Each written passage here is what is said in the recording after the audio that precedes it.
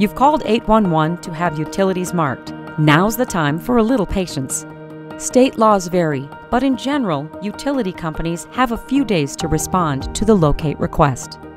Each utility type will use flags or paint in different colors to identify line locations. You might be tempted to start digging as soon as the first utility has marked their lines, but you need to wait until all utilities have located their underground lines.